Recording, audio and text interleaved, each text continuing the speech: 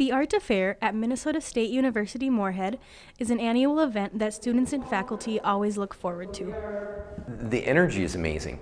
So when you get 250 high school students in one building and they're you know, getting to take sessions that they're really passionate and, excited about, so they might take sessions where they're um, building things with clay or learning how to throw on the wheel, just all kinds of fabulous sessions for them to choose from.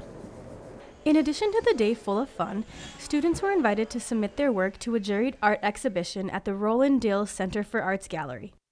Their art was professionally lighted and displayed for two weeks leading up to the Art-A-Fair. The show looks fantastic, and the Kiwanis Club of Fargo actually sponsors the exhibition, and they give out um, over $1,000 in awards, in student awards. And for those that got to take an award home with them, the excitement is hard to contain.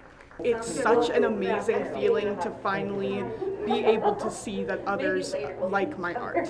Kennedy Don won Best in Media Arts for her work that included an interactive pamphlet. I always try in my art to like leave a piece of myself. Taking a look around the gallery, it's obvious that Kennedy isn't the only one. I do think this year the work that's shown is, is uh, seems really kind of personal. The kids who are living every day and trying to process the world, kind of deal with politics and deal with, you know, like their life, it's a way that they can kind of have a really strong voice and it's not coming out of their mouth. Whether through pencil, clay, or paint, art has always been an outlet, a way for people to communicate what they can't put into words. With photographer Tylar Frame, Gracie Jackson, Campus News.